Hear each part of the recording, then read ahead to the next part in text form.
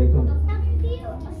Alhamdulillah, I, I was listening, uh, I was sitting here and observing on these activities of the children and was feeling feeling very good, Alhamdulillah. And I think first I appreciate our, uh, our parents uh, who are spending time here and brought their children uh, to the program. Now I want to go a little bit backward in my discussion as you mentioned I'm involved in IPDC also. So that's, that's for all of your information. Please, kindly please, I will not take more than five minutes, I promise. So just this this house was an abandoned property. I mean, people used to come here and took the drug at the night time, all this thing. Alhamdulillah, Sami practitioner Dawa Circle IPDC um, almost 15 years ago bought this property and slowly converted to uh, to a mosque. Alhamdulillah, it took a long time for us to take the permission. I I feel personally feel so good uh, for those brothers who worked so hard to make this property. I mean, like like institute now. And with the help our our uh, so beloved and knowledgeable our, our Sheikh Abu Huraira, since he came here, Alhamdulillah, he, he turned this uh, taskira from, as he mentioned, from almost 10 students to 100 students. So it's very important uh, to have a knowledgeable Sheikh uh, in our studio. Very lucky to having him in, in, in this studio as a principal. So what I mentioned about this organization, the brother, it is very important. We are living in Australia, so all the parents sitting here, I'm talking about parents first and the children. Children will listen, inshallah. It is our duty to do something here. Although IPDC may be Bangladesh oriented, but it's open for everyone. You can come and join and work with us.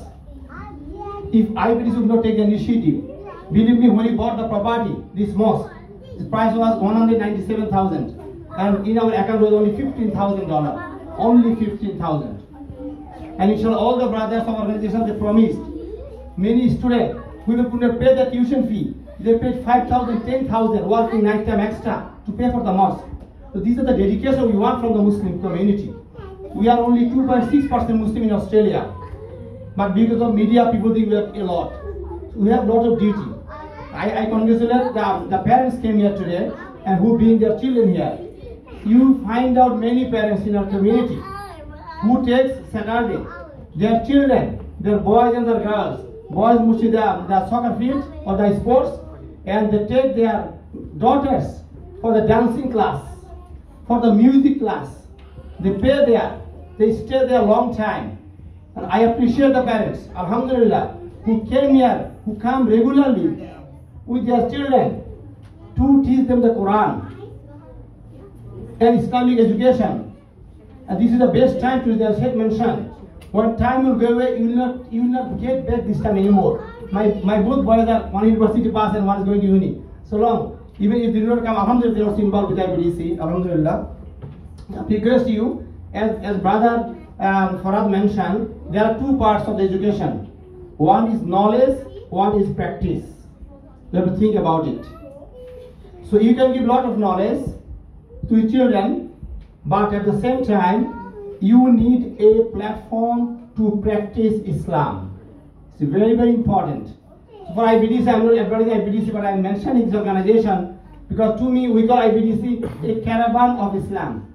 In Australia, we try to practice different aspects of Islam within our small organization, our education sector, our school, our, our weekly halaka, our monthly halaka, our picnic, our picnic coming uh, next um, uh, 12th of January. So we go there with a lot of families, five, six hundred people go with Islamic environment.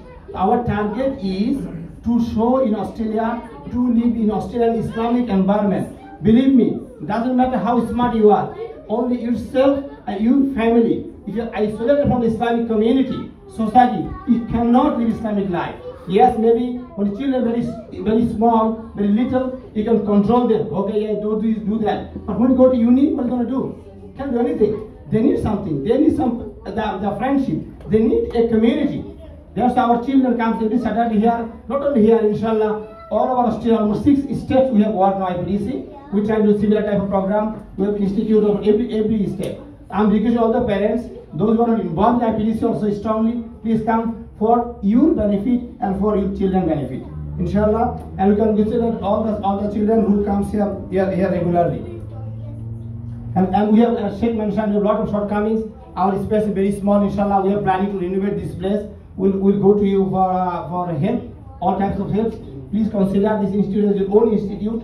and for the benefit of your children, your family, and yourself, please fully involve and cooperate. I mean, we can criticize for many shortcomings, but we're to solve this. We don't have any government fund or anything. We have to earn our own money. All the brothers sisters contribute for our sake, for our dunya and akhirah. When I mentioned dunya also, we, we want happiness in dunya and akhirah. I know many friends because of my position organization. We meet different people, different. Many brothers, many parents, they work days and ha- night. They train their children, select to school, make doctor. Eventually, those children even do not respect them, to live with them, even don't even give a salam. And that brother, one brother was meeting me and he was crying. He was so hard to send his, his daughter to, she became doctor. And he doesn't come to his house anymore. Because she married one non-Muslim. Alhamdulillah. She became so smart.